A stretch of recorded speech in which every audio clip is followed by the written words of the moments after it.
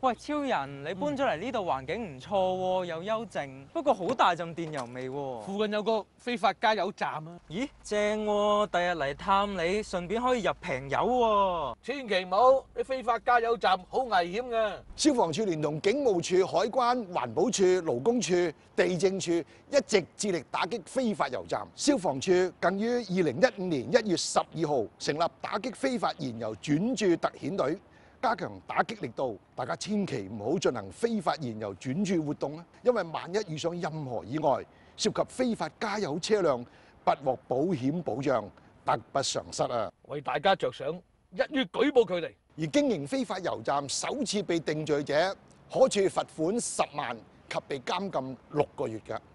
各位切勿以身試法，仲應該積極舉報啊！